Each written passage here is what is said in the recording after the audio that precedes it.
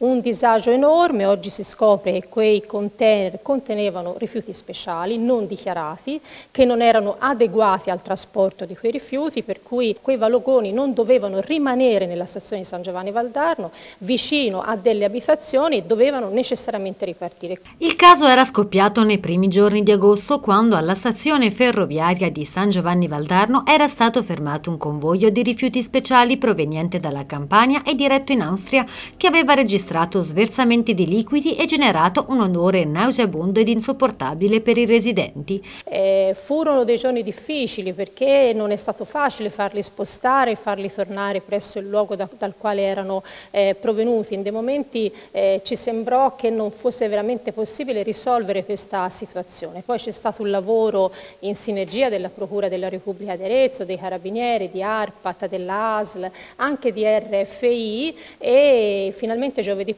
il giovedì pomeriggio 4 agosto i vagoni ripartirono verso la destinazione da cui erano originariamente partiti. Adesso le analisi sul contenuto effettuate per conto della Procura di Arezzo rivelano che i 32 container contenevano rifiuti pericolosi e non stabilizzati, non idonei al trasporto né smaltibili in discarica per l'elevata concentrazione di metalli pesanti. Il comune di San Giovanni Valdarno così sta valutando la possibilità di richiedere i danni. Stiamo valutando questa possibilità responsabilità, naturalmente la dobbiamo valutare in termini formali, ci rivolgeremo a un avvocato per, fare, per capire questo, naturalmente immediatamente all'accaduto l'ufficio ambiente ha emesso due ordinanze, una nei riguardi di RFI e l'altra nei riguardi della società che aveva l'incarico di trasportare questi rifiuti per ripulire le rotaie della stazione, l'ordinanza fu immediatamente eseguita, però ecco ora stiamo valutando la possibilità veramente di richiedere i danni.